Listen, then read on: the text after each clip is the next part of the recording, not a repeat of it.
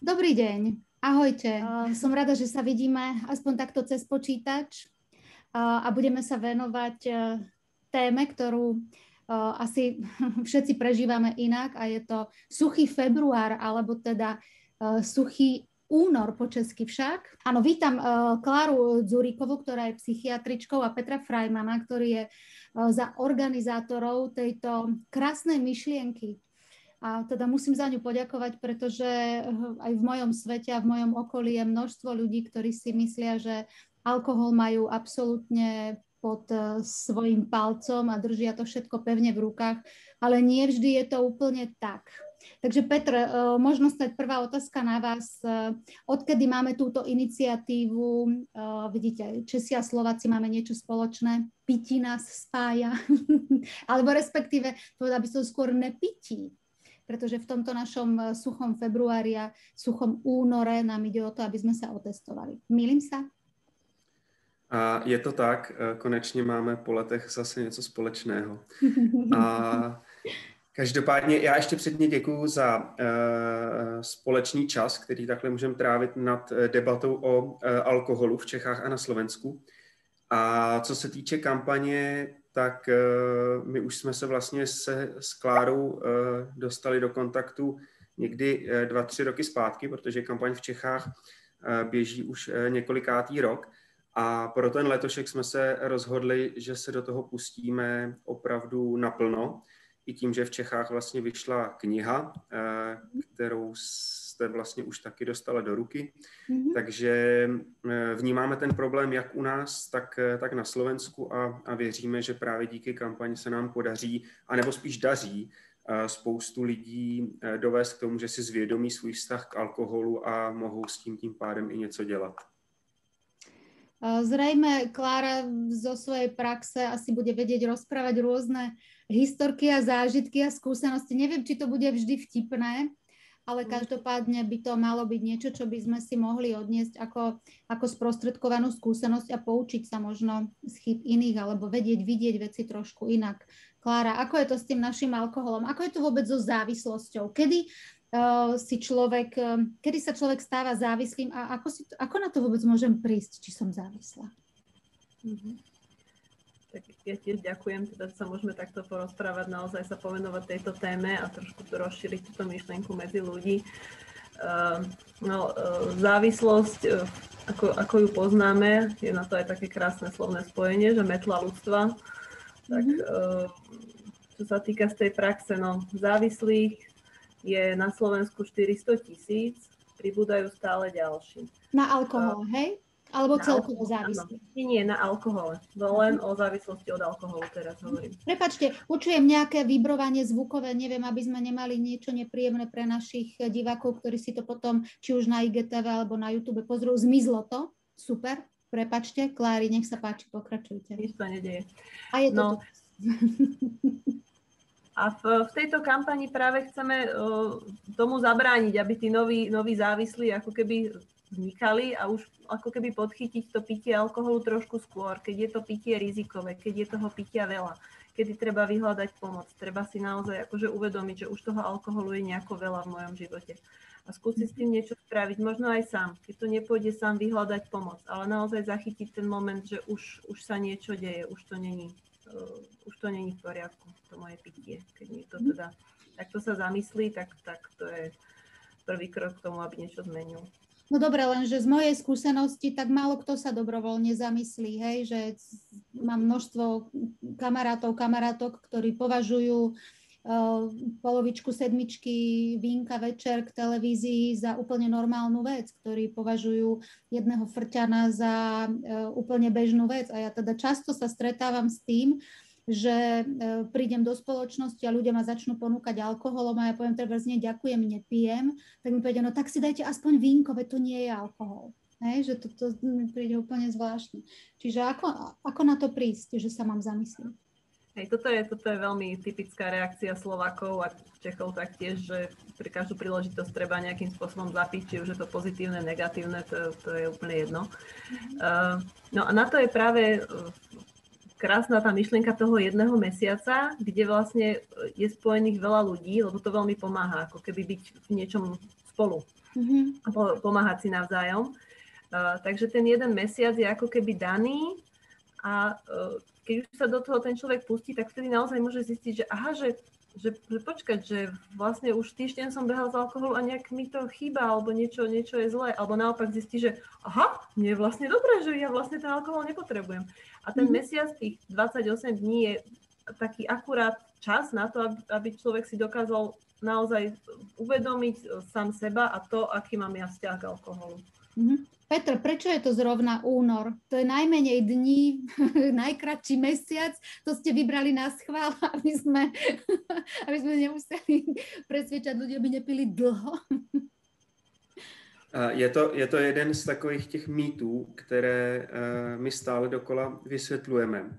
A že to tak vůbec není. A uh, únor vzniknul čistě náhodně uh, v jeden lednový den, kdy si organizace Eh, která to původně pořádala, eh, plánovala, co bude dělat eh, v další ročník nebo další rok pro mužské zdraví, protože původně byl suchý únor zaměřený čistě na muže, tím, že muži alespoň v Čechách konzumují zhruba čtyřnásobek toho, co ženy.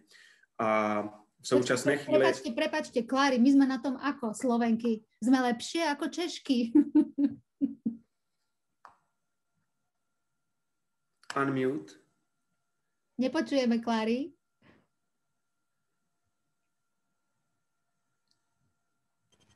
Akože takéto číslo ja neviem, že či to je 4 krát viac, 3 krát viac, ale uh-huh. určite viem, že, že nám ten alkohol škodí viac. Že aj keď žena vypije rovnaké množstvo ako muž, uh-huh. tak je to oveľa viac uškodí, čo sa týka organizmu, metabolizmu alkoholu v tele. Uh-huh. Jasné. Ženy sú uhrozené určite viac. Hej, hej.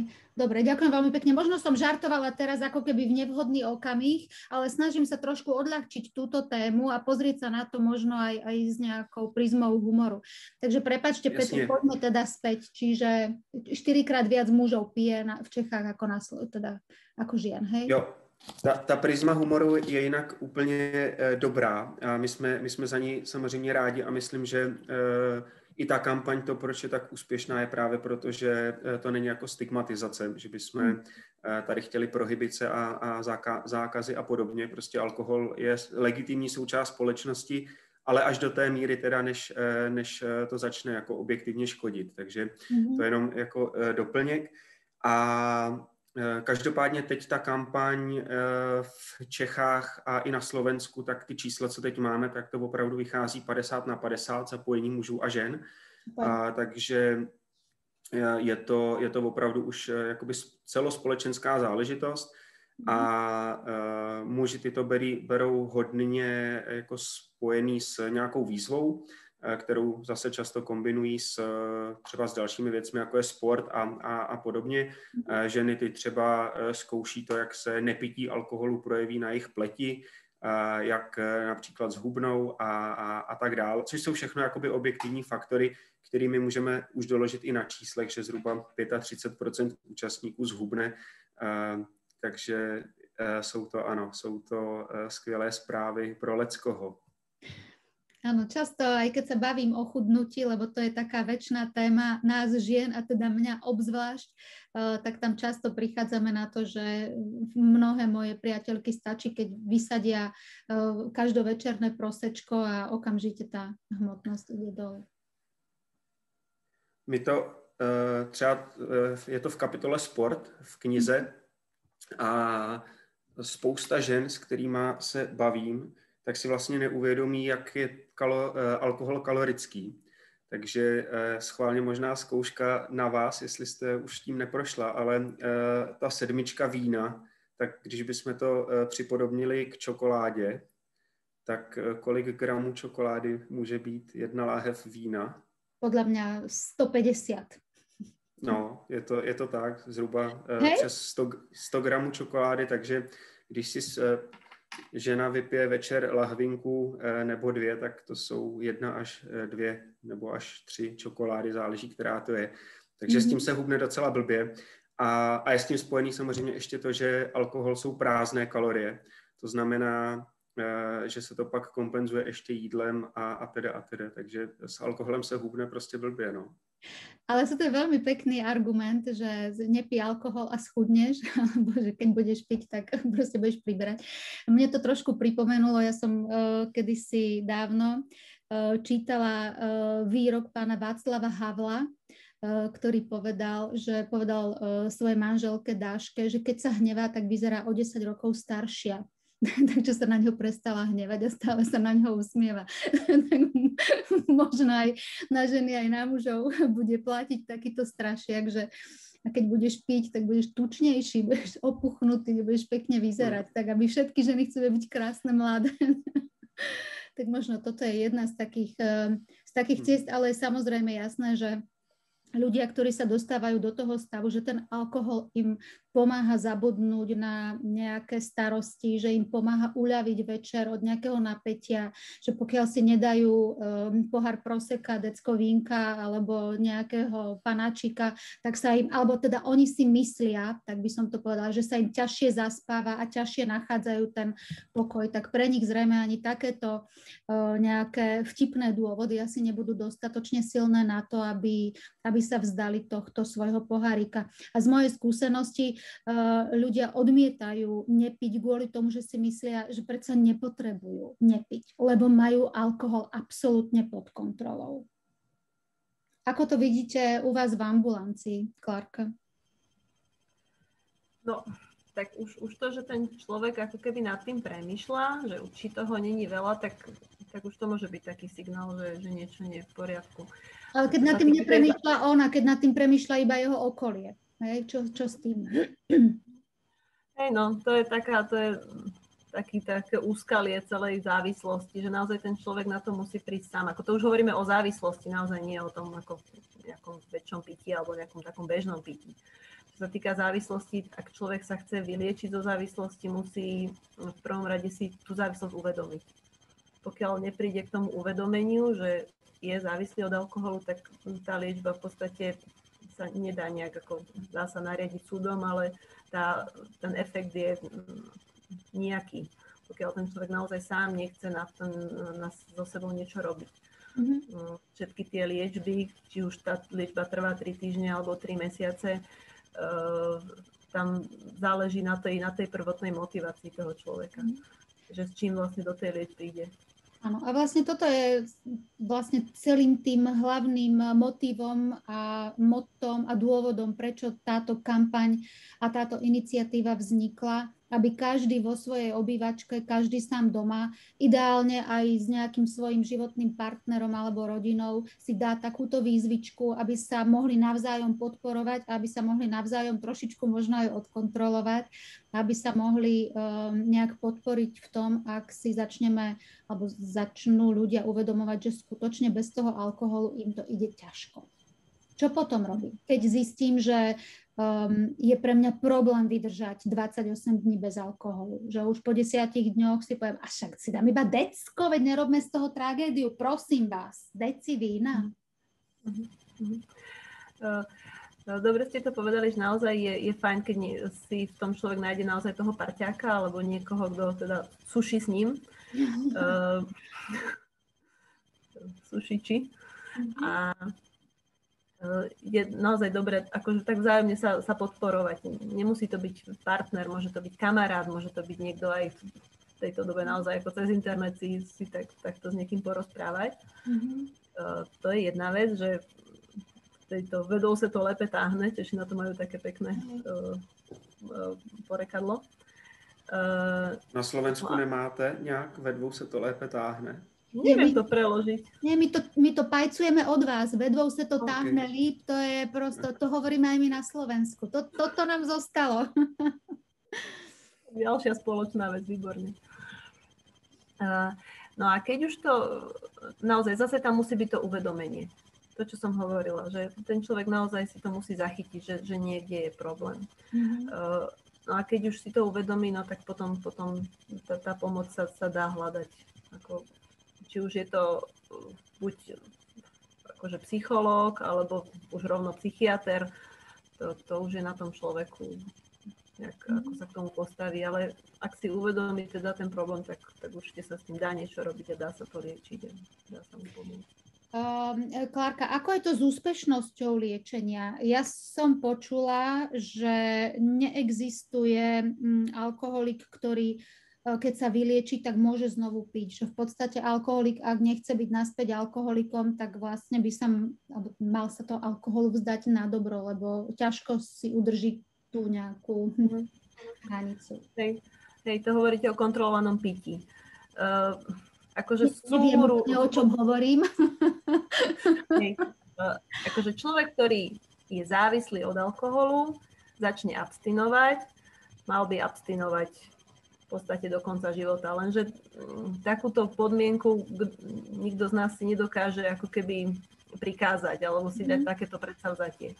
Čiže uh, Tí ľudia sa snažia abstinovať, darí sa im to niekedy mnoho rokov, ale neznamená to, že tá recidíva sa už nepríde. Mm-hmm. Ten človek, e, alebo nastavenie mozgu toho človeka je také, že malé množstvo alkoholu môže zase spustiť celý ten mechanizmus a uh, potom už sa z toho zase ťažko, ťažko dostáva. My máme pacientov, ktorí napríklad vydržia dlho abstinovať, potom sa ako keby rozpijú, je to pár dní, ale majú ten náhľad, vedia, že už je zle, tak rýchlo prídu ako keby na, do nemocnice, mm-hmm. vyriešime to, keď tak si zopakujú liečbu, možno v nejakom kratšom režime. A stačí tam naozaj ten, ten náhľad, že zase sa to stalo, treba s tým niečo robiť. Mm-hmm. Petr, uh, máte nejakú uh, štatistiku alebo nejaký pohľad už povedzme na tie predchádzajúce ročníky, že aká bola efektivita tohto suchého februára, či sa, či vieme, že koľko ľudí približne po tomto februári, po tomto únore naozaj vyhľadá odbornú pomoc a uvedomí si, že majú problém? My to roz, rozdělujeme vlastně na dvě úrovně. A je to pro nás taková jako e, filozofická debata, protože máme například v Čechách Národní linku pro odvykání alkoholu. Mm-hmm. A je vlastně otázkou, jestli lidi, kteří drží suchý únor, tak díky suchému únoru by na tu linku měli volat víc, anebo na, naopak míň, jestli mi rozumíte, protože oni si můžou na jednu stranu zvědomit právě to, že ten problém mají a zastaví. Anebo naopak u někoho to může akcelerovat. Takže jakoby v tom důsledku pro nás je těžké tohle odchytnout, protože jsme často, nebo uh, ti lidi, kteří se zapojí, tak budou často i ti, kteří jsou rizikoví. Hmm. A rizikový se může právě přesunout na tu stranu volám linku, anebo naopak zastavil jsem včas a linku nevolám. A hmm. takže tohle se nám blbě vyhodnocuje, ale uh, co se nám vyhodnocuje dobře, a to jsou ty pozitiva u těch účastníků, tak eh, my jsme testovali čtyři měsíce po suchým únoru 2020 a 53% účastníků deklaruje, že eh, se s pitím zvolnilo anebo eh, přestali pít úplně. Mm-hmm. A i vlastně teď máme spoustu reakcí od lidí, kteří třeba i sušili celoročně, dokonce vznikla i skupina jakoby pokračovatelů suchého února, kteří suší celoročně mm-hmm. a, a je to čistě proto, že prostě přišlo k nějakému zvědomění, že si prostě nemusím dát ke každému obědu pivo a nebo že uh, se mi opravdu zlepšil spánek, což uh, deklaruje 60% lidí, což mně přijde jako vlastně ohromný číslo, že jenom to, že mě někdo nabídne možnost nepít, já vyzkouším nepít a zjistím, že díky tomu mám víc energie, lepší spánek, zhubnul jsem, ušetřil jsem a, a podobně, tak, eh, tak eh, mně přijde jako skvělá eh, vlastně rovnice jako cena výkon. Mm-hmm. A pak samozřejmě 90% lidí, nebo 86, tak se díky sucháči prostě cítějí líp, zvedne se jim osobní hrdost, což je jako jednak pocit toho, že třeba nejsem e, v tom rizikovém pití, anebo naopak, že jsem a zvládnul jsem to, ale často to lidi spojují i s tím, že víc sportují, líp jedí, e, více třeba věnou vztahům a, a ne, nebo koníčkům a podobně, takže je tam jakoby těch, e, těch dalších benefitů, je tam si myslím docela, docela hodně. A mě to ještě to, to, co jste zmiňovala před chvilkou, takový to společenský pití, eh, tak eh, mě to vede ještě k otázce na vás, tím, že jste z herecké branže. A my ty umělce máme taky docela zastoupený i mezi influencerama. A hodně jich, nebo ta herecká činnost jako taková je, je s tím pitím si myslím docela spojená poměrně výrazně. A jestli vy tam sledujete nějaký trendy, který, který se dají jako u těch herců v tomhle duchu vystupo, vystupo, vystopovat. Mm-hmm. A to, co e, my jsme teď slyšeli v jednom podcastu v Čechách, tak ten herec vlastně říká, já to jakoby k té činnosti potřebuju, protože mě to uvolní, e, protože to k tomu prostě patří. Ale zároveň si zkusil suchý únor a řekl, že e, to pro něj vlastně bylo sice těžší, ale mnohem větší zážitek, že prostě to vnímal to vlastně v nějaké té střízlivosti stoprocentně, byl konfrontovaný sám se sebou a s tím publikem tak eh, kam, kam míří vaše zkušenost v tomhle tom? Eh, ja sa musím priznať, že eh, ja z mojej hereckej praxe takéto, že dať si štamprliček na guráž, nikdy som to nerobila ani v mojom okolí. By som povedala, že 95% ľudí takéto nerobí my si naskúšame predstavenie, alebo keď ideme pred kameru, tak vždy iba s triezvou hlavou.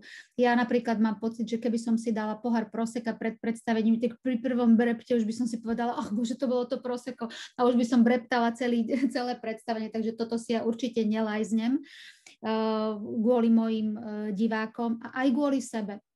Uh, lenže uh, chcela by som ako keby, vy, vy ste to pekne povedali, že ten herec zrazu, keď zistí, že bez toho alkoholu stojí na tej scéne, že možno je to náročnejšie, ale je to o to krajšie, o to je to vedomejšie.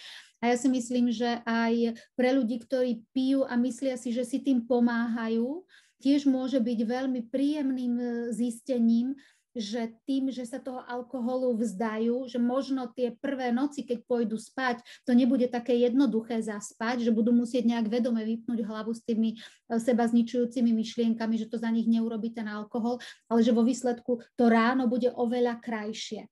A že asi to krásne ráno bez opice a ten pekný deň bez toho, že by niekoho sušilo po alkohole a že by ho bolela hlava a že by nevedel, čo som to včera vlastne povedal tej žene. Takže to je podľa mňa oveľa krajšie, aj keď teda je to namáhavejšie. Ako to, Klárka, máme? No, vy ste to veľmi pekne povedali. E, naozaj, že ten začiatok je možno ťažší, alebo viac človek si uvedomuje seba, alebo keď naozaj ten alkohol používam na to, aby som na niečo napríklad zabudla, alebo mhm. zmiernila napríklad nejakú úzkosť, alebo sa snažila naozaj na niečo zabudnúť, tak tie prvé chvíle budú, budú ťažšie, ale naozaj tie rána a tie dni potom, ten spánok, ako veľmi veľa ľudí už, už teraz píšu, ľudia, ktorí naozaj si skúšajú ten suchý február, že, sa, mm-hmm. že už ten spánok, akože to je iné spia, uh, spia menej, ale že ten spánok je naozaj kvalitnejší. To ráno je lepšie. Mm-hmm. A uh, takisto aj, no tak tá váha to asi až neskôr príde, ale teraz mm. ako čo som naozaj videla tie komentáre o tom spánku, tak už, už po tých dvoch týždňoch, ktoré máme za sebou, 17 dní, tak, mm-hmm. tak už ten spánok je lepší. A možno aj e, by sme mohli posmeliť tých, ktorí nás budú teraz sledovať a možno um, sa nezapojili, lebo si myslia, že to nepotrebujú a možno to ani nepotrebujú. Ale len tak pre zaujímavosť by sa do toho mohli pustiť a aj tí, ktorí už e, nejakým spôsobom fungujú na tomto suchom februári, tak teda im dodať e, nejakú silu a energiu, aby to potiahli úspešne až do konca februára a teda zvedomnili si či už nejakú začínajúcu závislosť alebo silu toho, že som schopný žiť nezávisle od alkoholu ale možno by sme mohli dať nejakú dobrú radu, ako odmietať piť. Pretože z mojich skúseností, a tam by som sa vrátila do toho hereckého sveta, že eh, je niekedy náročné vysvetliť a odmietnúť eh, ten alkohol, vysvetliť, že naozaj si neprosím, naozaj nepijem. Pretože keď prídem niekde na zájazd, a je tam niekto, kto ma obdivuje, kto prišiel na moje predstavenie a chce mi vzdať úctu, tak eh, sa u nás na Slovensku zvykne vzdať úcta tým, že doniesla som vám vínko, pozývam vás na dobrý koňak. Veď iba jeden, pani Vačková, jeden. So mnou si nedáte? So mnou si nedáte? A to je také psychické vydieranie, že to potom naozaj akože chce to silu a kurz asertivity, aby som povedala, nie, ďakujem, naozaj si nedám. Čiže ako odmietať alkohol? Toto by som chcela, aby ste nám poradili, či už Petr z, vlastne, teraz z vašej skúsenosti, alebo Klárka z ambulancie. Kde začneme? Dáme prednosť? Isté. Mňa k, tomu, mňa k tomu napadlo toľko, že uh, naozaj ten, tá kampaň môže byť takou, takým prvým tým dôvodom, že nemusím, nemusím si vymýšľať dôvody, že neviem, šoferujem, neviem čo, ale poviem, že je suchý február. Mm-hmm. A keď, naozaj už to bude medzi ľuďmi, takáto vedomosť o niečom takom, že to existuje, tak dúfam, že vám dajú pokoj. No. Mm-hmm. A no, naozaj je to taká barlička, ľudia Slováci potrebujú naozaj e, nejakú výhovorku alebo dôvod k tomu, prečo človek nepije. Naopak to nie je. Keď človek proste pije, na to nemusí mať dôvod. Ale keď nepije, tak už zrazu sa musí obhajovať, už musí proste doniesť pomaly od, od lekára razitko, že má antibiotika, aby mu tí kamarádi dali pokoj. Áno, áno, toto je úplne bežné, že keď niekam ideme a um, naozaj viem, že, že proste nechcem piť, tak to je také, že prosím ťa, poviem, že mám zapálené obličky, že berem antibiotika, ako prosím ťa, pochopím na tužičku. A je mi to niekedy, je mi to ľúto, že musíme sa uchylovať k takýmto lžiam, že ľudia nie sú schopní normálne akceptovať, nie, ďakujem, nepiem, lebo keď poviem, nie, ďakujem, nepiem, tak už ide, asi sa lieči z alkoholizmu, neponúkajte jej, je to alkoholička, nemôže piť, chápeš, nemôže piť. Človek si prípada potom taký divný, keď nepije. Uh, ja teda som si na to urobila taký, taký svoj systém, a ja obťažujem svojich hostiteľov potom tým, že chcem nejaký špeciálny čaj. Aby mali pocit, že mi venovali pozornosť a že dali si námahu s tým, že museli ma nejak obslúžiť a niečo špeciálne pre mňa spraviť. Tak ja treba poviem, že ja by som si prosila čerstvý zázvorový, keby mi ho mohli nastrúhať a že teda aj by som chcela ten citrón. A oni chudáci teda chodia z poschodia na poschodie. Tu herečka, niekto nejaký zázvor chce. a potom už ako keby mi to odpúšťali odpustia, že som nepila ten alkohol, lebo škodu som urobila, aspoň čaj sa museli namáhať. Čiže toto je mhm. taká, taký môj grif. Ponúkam do sveta. Obťažujte hostiteľov nejakým náročným nealkoholickým nápojom. Petře, co vy na to? No, my v Čechách si myslím, že máme štěstí, že, eh, nebo už štěstí, eh, že tím, že kampaň zná zhruba 60% populace, což mm-hmm. samozřejmě pomáhá v důsledku všem těm účastníkům, že opravdu stačí říct suchý únor a, a všem je to jasný. Mm-hmm. A stejně tak vlastně začíná fungovat i to, že prostě někdo řekne suchý březen, květen, duben, je to, je to jedno, ale už je to jako terminus technicus, což je mm-hmm. super. A z druhé strany, eh, teď bohužel teda ne díky, díky covidu, ale třeba letošní, nebo respektive loňský rok, tak eh, byla naprostá většina hospod, které vlastně vytvořily nějakou nabídku pro sušiče. To znamená, přijďte k nám, máme domácí limonády, máme speciální nealkopiva, máme tohle a tamhle to, což vlastně posouvá i, i ohromně jako vnímání v té společnosti uh, jako dopředu a hlavně i nabídku pro ty, kteří hmm. nechtějí pít, jo, protože uh, s čím my pracujeme, že prostě i když vy nechcete pít a chcete jít do té hospody, uh, což my jako chceme, jo, aby prostě lidi se dál bavili, ale aby byly ty alternativy, tak často není co pít prostě, jo, a vy nechcete pít celý večer kolu anebo, anebo nějaký nealko pivo, ale, hmm. ale chcete taky experimentovat, takže uh, v tomhle tom duchu, že na trh přichází Eh, nealko destiláty, to znamená, můžu si dát gin tonic, ale můžu si dát taky nealkoholický gin tonic. Eh, v Británii v Británii ja, ja mám teraz mají... takýto Aperol špric na stole, idem ho Jasne. práve ochutnať, takýto nealkoholický, teším sa na to. Jo, super. No a to, to, to přijde jako mně osobně hrozně důležitý, jo, že, že prostě vy, vy chcete pořád tu zábavu, ale chcete třeba přijet autem uh, jo, a, a, a m, přesně si myslím, že to, aby se nestávalo, že vám někdo bude říkat, proč nepiješ, když jsi v hospodě, tak se dá krásně eliminovat tím, že eh, tím, že eh, jdete do té hospody, ta nabídka už tam prostě je hotová mm. a vy jste obyčejnou součástí té party. Ano. A druhá věc, ještě co bych chtěl doplnit eh, k tomu, co jste zmiňovala, tak my víme v Čechách, že 6 lidí z deseti má kolem sebe někoho, kdo má problém s alkoholem. A což si myslím, že jako teď, když se každý z nás zamyslí, tak někoho najde. A sucháč jako často nemusí být o nás, jakože já prostě eh, nemám problém s alkoholem, tak se mě sucháč netýká, ale je to nějaká deklarace právě třeba pro někoho, kdo je kolem mě a ten problém mít může. Jo, a v tomhle to vnímám hrozně důležitý, že, že to je fakt ta sněhová koule, která, eh, když nás bude v partě víc, tak o to spíš se ukáže někdo, kdo ten problém má a může mu to ve výsledku pomoct. To ste krásne povedali. Až, až, až mi zimom riavky prebehli po chrbte. Až tak, jo. Mm-hmm, hej, to je že krásne. Teda, nemyslíme iba na seba, ale stiahneme do tejto uh, sušičskej partie uh, čo najviac ľudí okolo, aby si čo najviac ľudí mohlo uvedomiť, či ten problém má, alebo ten problém nemá. Mm-hmm. Toto sa Nevím, jestli se nám zároveň nenachýlil čas. Mě tady teď... Toto. Blikla nejaká notifikace Kláry. Hmm. Áno, vyzerá to tak, že máme posledných nejakých, povedzme, 8 minút na to, aby sme ukončili túto našu debatu na tému suchý február, alebo teda suchý leden, uh, únor. Uh, ja by som povedala, že dnes máme popolcovú stredu, čo znamená, že vlastne sa nám začína, uh, keďže Slovensko je kresťanská zemne, tak sa začína obdobie pôstu, ktoré teda verím, že z toho suchého februára tak pekne prejde väčšina eh, ľudí k tomu, že sa teraz vlastne vzdávajú alkoholu a aj nejakého ťažkého jedla, aby si odľahčili trošičku a aby vlastne boli prichystaní na veľkonočné sviatky, ktoré tu budú približne, neviem, o 6 týždňov, či koľko to je, neviem, nevyznam sa v týchto číslach. Takže vlastne toto nám nahráva do kariet, by som povedala. Myslím, že to je 46 dní, jestli se nepletu. Hmm, no Ale možná sa pletu.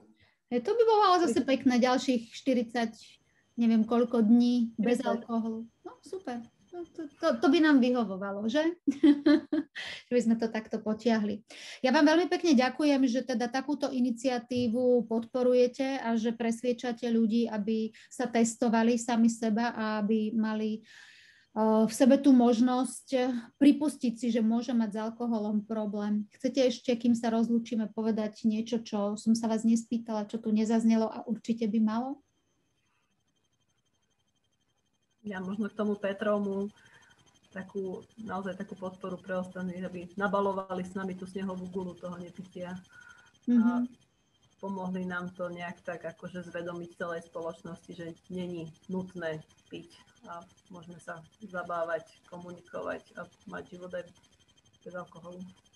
A hlavne, aby som teraz apelovala aj na ľudí, ktorí toto budú sledovať, prosím vás, nepresviečajte iných ľudí, aby pili alkohol, keď vám raz povedia, že si neprosia. Prosím vás, rešpektujte to, akceptujte to a neznásilňujte ľudí do toho, aby pili. Lebo alkohol nemusí byť synonymom toho, že sa u vás cítime dobre a že sa zabávame. Hej, môžeme sa baviť aj bez toho, aby sme pili alkohol a môžeme sa cítiť dobre, aby dobrá partia, aj keď sa spolu neopijeme. Ja bych to u téhle tečky nechal.